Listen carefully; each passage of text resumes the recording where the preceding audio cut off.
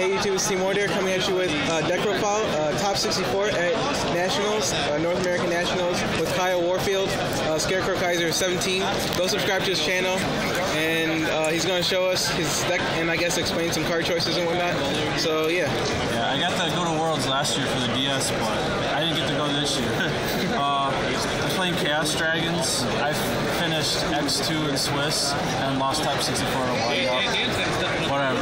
Uh, played three Valor, Trag, uh, Dark Arm, two Red Eyes. I played three of these guys uh, instead of like, because I wanted more Chaos, and I didn't want to play three Sorcerer because I feel like this guy's better because it's another dragon for your Future Fusion.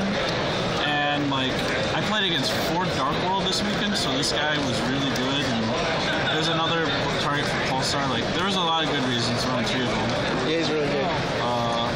Pulsars, two Clips, two Sorcerer, BLS, two Trooper, and then played three Lyla, three Ryko, and one Tech Jain. Uh, Jain helped a lot. It beat over Kaiku's and it beat over some Saber Sources. And one time it crashed into a Centipede equipped with Hornet. And it was another target for my uh, solar recharges and stuff. So I was really glad I played them. Tour guides, Sangan. It's like 32 monsters. And then played nine spells, I believe.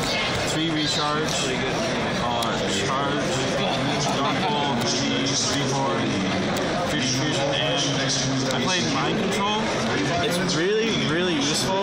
Like I, I even took out Allure of Darkness just so I could play it. It wins a lot of games, especially in the mirror match. Yeah, I was considering playing it. It was- Yeah. Like it was so good, I had to play it over Allure, and that was hard to cut because I wanted all the draw power. Uh, side, two virus, two crow, How do you like Crow? crow.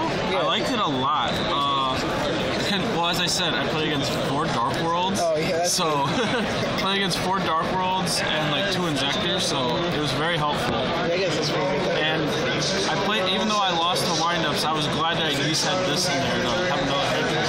Uh, three MSTs, Dust, and Trimble the Tree. Now those are Ironically enough.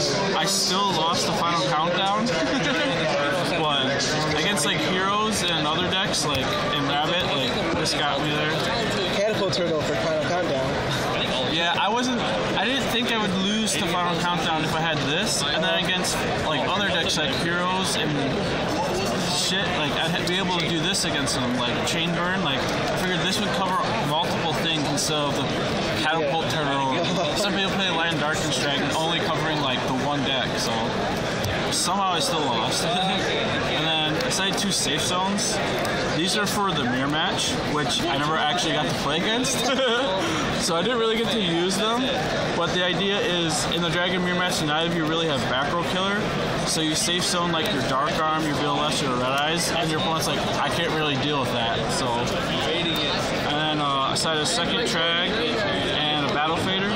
Uh, these were really useful because like dragons can just OTK you and beat the crap out of you. So, so having these plus the Dragon main helps keep you alive. Inzektors, if they can't kill me, I'm usually okay. Um, Dark World can have some pretty heavy hitters sometimes, and like dropping Trag will actually, if the field spells out, he'll be able to actually beat over that Grapha and Yes, so there was one match with this against the Injectors. I Temtempoed their Acid Golem, and then they made a final push for game, and I dropped this, and they lost because that was their final chance. Uh, extra, Yep. uh, Temtempo, really good. I played him. card Yeah, this card wins a bunch of games. Obviously, these guys. Uh, my only rank four was the Queen Dragon. She was really good. I never missed playing Utopia. uh, every time I brought her out, she was really good.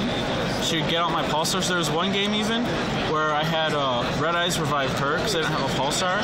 That forced them to. Ki- they wouldn't be able to kill their, my Red Eyes that turn. They would have had to kill her, and then Red Eyes would just be there to revive her. So it was really good. Even without materials, her no battle effect still applies. Him and him. Uh, Yeah, this guy won my game. Never made him. This card's amazing. This card won me a bunch of games. Never played this card. I, I only brought him out like once or twice when I was trying to OTK for game. It worked, so. The only time I brought him out was in Injectors, and they just dark hold him. and this card wins a bunch of Yeah, it does. This card is amazing. And I had two synchros, uh, Brio and Black Rose. Uh, Brio just because if I can Brio with a Dark Flare and pitch some things, bounce your field, and then drop the rest of my Chaos Monsters, that'll win me games.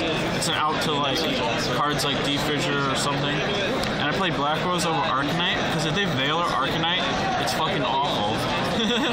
if I drop Black Rose and they Veiler it, it's still a beat stick. It still can be revived, and I can still remove it for Red Eyes. You didn't want to play Ancient Sacred Wyvern? What? Ancient Sacred Wyvern? No, I didn't have the room for that. Like, I wanted more likely Yeah. things, and obviously the five god. So that's about it. Yeah, so that's the deck profile with Kyle Warfield. Um, go subscribe to his channel. Uh, Scarecrow Kaiser 17. and yeah, um, I'll be back with some more videos. Stay warned out. Peace.